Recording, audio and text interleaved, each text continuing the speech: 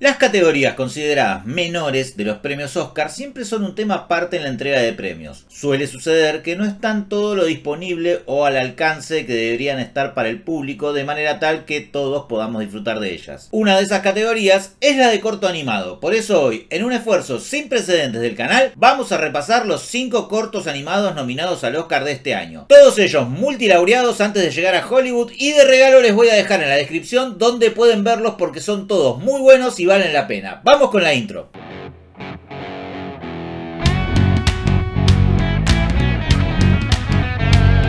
La mañana del 6 de diciembre de 1917, dos barcos cargueros chocaron a orillas del puerto de Halifax, en Canadá. Uno de ellos estaba repleto de explosivos destinados a la guerra en Europa. La explosión derivada de este incidente, la más grande conocida por el ser humano hasta ese entonces, devastó la ciudad portuaria y provocó la friolera de 2.000 muertos y 5.000 heridos, en un episodio que marcó a sangre y fuego la historia de ese país. Inspirado en este suceso, The Flying Sailor o El Marinero Volador tiene una premisa muy sencilla partiendo de estos hechos, tras los cuales nuestro protagonista sale literalmente volando como producto de la explosión y esto lo llevará al viaje de su vida en la que él la verá literalmente pasar delante de sus ojos. La palabra para este corto canadiense es belleza, mezclando humor y una notoria capacidad de reflexión acerca de la fragilidad de la vida y otras cuestiones, el marinero volador combina distintos tipos de animación e imágenes reales y conmueve con su cautivadora banda sonora. Siguiente corto. Premiado en el Festival de Cannes 2022,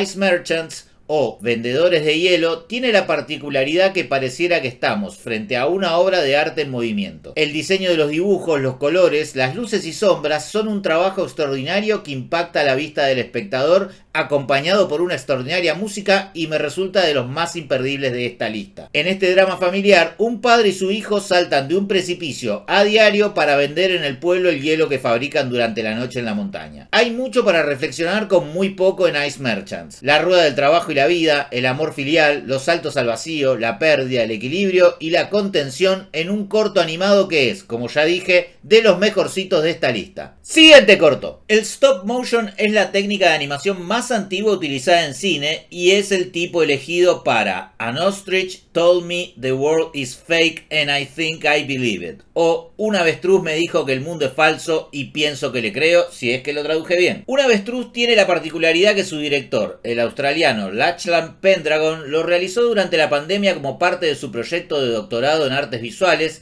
y constituye un hito en estos premios ya que con solo 26 años este joven director ha logrado ser premiado en su país y ha llamado la atención de los miembros de la academia quedando con justicia nominado en esta categoría. A medio camino entre The Truman Show y Matrix, una avestruz nos sumerge en el mundo de un oficinista que atraviesa por la situación del título y comienza un viaje en el que la realidad y la ficción serán más que confusas tanto para su protagonista como para el espectador en un corto que se destaca principalmente por la originalidad de su planteo. Siguiente... Ah, no, pará, pará. Pará.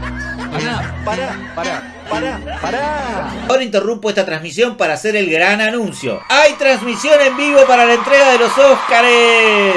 El domingo 12 de marzo estaré en vivo aquí en YouTube, viendo la entrega de premios junto a ustedes y quienes se sumen. El último año ha sido muy fructífero para el canal, las visitas crecen, hemos pasado los 300 suscriptores y quiero compartir con todos ustedes esta nueva experiencia de ver la premiación en vivo por esta plataforma. Así que tomen nota, no se olviden, síganme en las redes sociales para estar al corriente, suscríbanse al canal si no están, denle like a este video, dejen un comentario y activen la campanita para las notificaciones. Ahora sí, siguiente corto. En 2014 la escritora y guionista Pamela Ribbon publicó su libro de memorias Notas para muchachos y otras cosas que no debo compartir en público. Adaptado por ella misma, llega My Year of Dicks algo así como mi año de penes. ¿Se puede decir pene en YouTube? No lo sé, tú dime. Bueno, supongo que ya me voy a enterar. En cinco episodios dentro del corto veremos la historia de Pam, una joven de 15 años que busca perder su virginidad a comienzos de los 90, en una historia que destaca principalmente por su sinceridad y carencia de hipocresía a la hora de abordar el mundo adolescente. Con bellísimos y enriquecedores planteos visuales a lo largo de sus cinco episodios, el despertar sexual de nuestra protagonista y su derrotero será un abarcativo de las situaciones más disímiles y fantásticas, una fuerte crítica a un mundo carente de empatía, muchas veces ignorante y cruel, que rodea a nuestra protagonista, pero también un baño de esperanza a la hora de la tristeza. Siguiente corto. Y para terminar, la que todos señalan como la joya de esta temporada de premios en materia de cortos, es la favorita y por eso la dejé para el final. ¿Qué quieres ser cuando crezcas?